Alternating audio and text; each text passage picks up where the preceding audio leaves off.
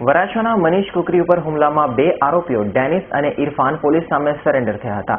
જેથી ચોવીસ કલાકમાં બંનેને કોર્ટમાં રજૂ કરવા કાપોદ્રા પોલીસને કોર્ટે હુકમ કર્યો છે. વરાછાના માથાવારે ગણાતા મનીષ કુકરી પર હુમલો કરી નાસ્તા ફરતા બે આરોપીઓ, ડેનિસ ખત્રી અને ઇરફાન રંગુનીએ કોર્ટમાં સરેન્ડર કરી પોલીસ પોતાને થર્ડ ડિગ્રી આપશે એવો ભય વ્યક્ત કર્યો હતો. કોર્ટને અપાયેલી લેખિત અરજીના સંદર્ભમાં કોર્ટે કાપોદ્રા પોલીસને ચોવીસ કલાકમાં આરોપીઓને કોર્ટમાં રજૂ કરવાનો તથા સુપ્રીમ કોર્ટની ગાઈડલાઈનને અનુસરવાનો નિર્દેશ આપ્યો હતો. વધુમાં ગત અઠ્ઠાવીસમીએ મનીષ કુકરી પર આ હુમલો થયો હતો, જેમાં ડેનિસ ખત્રી અને ઇરફાન રંગુનીના નામો બહાર આવ્યા હતા.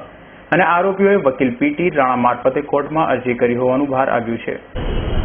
ગઈ તારીખ અઠ્યાવીસના રોજ ધરમનગર રોડ ઉપર જે ફાયરિંગ થયેલું સુખસાગર એપાર્ટમેન્ટમાં, એમાં મનીષ કુકડી નામના વ્યક્તિ ઉપર ફાયરિંગ થયેલું, જે આયુષ હોસ્પિટલમાં એડમિટ છે. એ ગુનાના આરોપીઓ ડેનિસ ખત્રી અને આરિફ રંગુની બંને કોર્ટમાં સરેન્ડર કરેલું છે.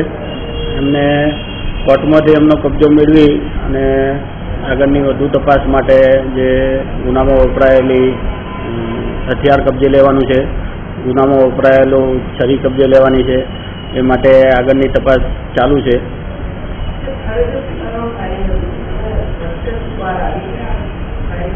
ચાર ચાર રાઉન્ડ ફાયરિંગ હતું.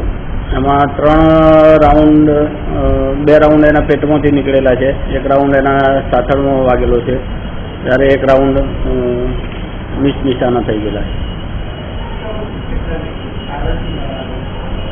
હાલ પૂરતું કારણ સમાધાન જે અગાઉ કેસ થયેલો, ડેનિસ કતરીને ચરી મારેલી આ માણસે, મનીષ કુકડીએ.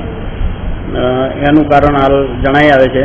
બીજું વધુ તપાસમાં ખ્યાલ આવશે કે અસલ શું કારણ Bureau Report, S9 News,